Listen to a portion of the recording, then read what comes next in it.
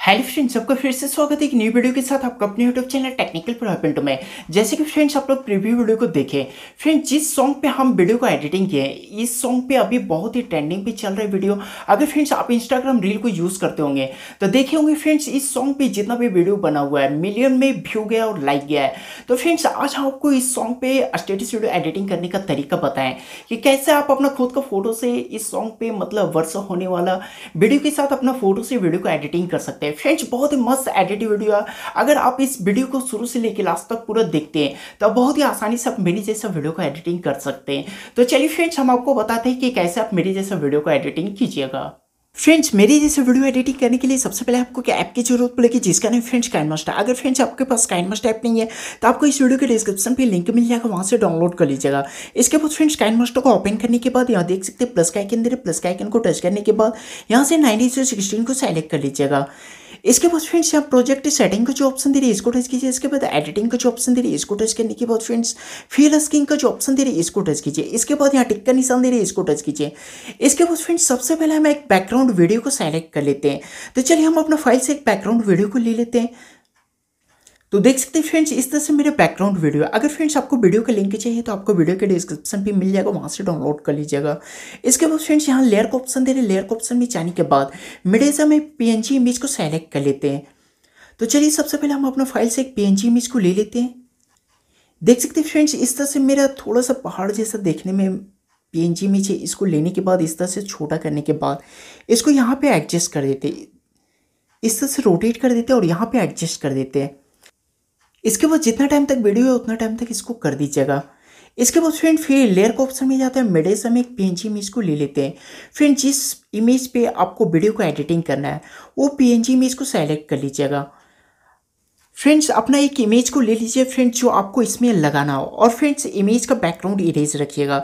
देख सकते हैं, मेरा इमेज का बैकग्राउंड इरेज इस तरह इरेज कर लीजिए। अगर फ्रेंड्स आपको नहीं पता कि कोई भी फ़ोटो का एक क्लिक में कैसे बैकग्राउंड को इरेज करते हैं तो फ्रेंड्स आपको इस वीडियो के डिस्क्रिप्शन पे आपको एक वीडियो का लिंक मिलेगा। उस वीडियो को देखने के बाद आप एक सेकेंड में कोई भी फ़ोटो का बैकग्राउंड को इरेज करना सीख सकते हैं। इसके बाद फ्रेंड्स सिंपली आपको इस तरह से एडजस्ट कर देना इमेज को। देख सकते हैं, इसको थोड़ा सा छोटा कर देते हैं और यहाँ पे एडजस्ट कर देते हैं। इसके बाद इसका भी टाइम बैकग्राउंड टाइम तक रख देते हैं। इसके बाद फ्रेंड देख सकते हैं, मेरा कितना अच्छा एडजस्ट हो गया थोड़ा सा ये पत्थर का जो इमेज है, इसको थोड़ा सा और बड़ा कर लेते हैं। अब देखिए कितना अच्छा देखने में लग रहा है। लग रहा है जैसे बैठा हुआ है इसमें। इसके बाद फ्रेंड्स यहाँ देख सकते हैं लेयर का ऑप्शन दे रहे हैं। लेयर का ऑप्शन में जाने के बाद ओवरले का जो ऑप्शन दे रहे हैं, इसको टच करने के बाद, यहाँ से हम एक मतलब बादल जो, बिजली जो मलकता है, उसका हम एक इफ़ेक्ट को सेलेक्ट कर लेते हैं।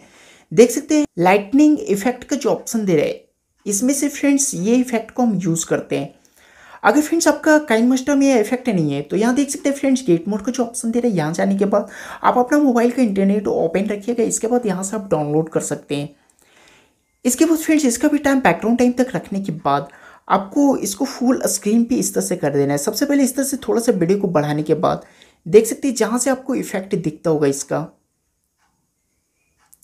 इसके बाद इसको इस तरह से बड़ा करना है और यहाँ पे एडजस्ट कर देना है। इसके बाद आपको थ्री डॉट्स का ऑप्शन भी जाना है। यहाँ जाने के बाद फ्रेंड सेंटो बैक का जो ऑप्शन दे रहे इसको टच कीजिए। इसके बाद आपको लेयर का ऑप्शन में जाना है, फिर मिडे में एक लाइट इफ़ेक्ट वीडियो को सेलेक्ट कर लेते हैं। इस लाइट इफ़ेक्ट वीडियो को लेने के बाद यहाँ देख सकते हैं स्प्लिट स्क्रीन का जो ऑप्शन दे रही है, इसको टच कीजिए। इसके बाद फ़र्स्ट वाले को टच कीजिए। आपको फुल स्क्रीन पे हो जाए। इसके बाद आपको बैक आ जाना है। बैक आने के बाद फ्रेंड्स यहाँ देख सकते हैं ब्लेंडिंग का जो ऑप्शन दे रही है, इसको टच करने के बाद स्क्रीन का जो ऑप्शन दे रही है, इसको टच कीजिए। इसके बाद फिर से लेयर का ऑप्शन में आते हैं। मिडे से हम एक बॉर्डर का पेंच इमेज को सेलेक्ट कर लेते हैं। इसको लेने के बाद फ्रेंड्स इसका भी टाइम बैकग्राउंड टाइम तक रख दीजिए। इसके बाद स्प्लिट स्क्रीन का ऑप्शन में जाने के बाद फ़र्स्ट वाले को टच कीजिए, आपको फुल स्क्रीन पे हो जाएगा। तो चलिए फ्रेंड्स हम इसको प्ले करके दिखाते हैं कैसा बना हुआ है।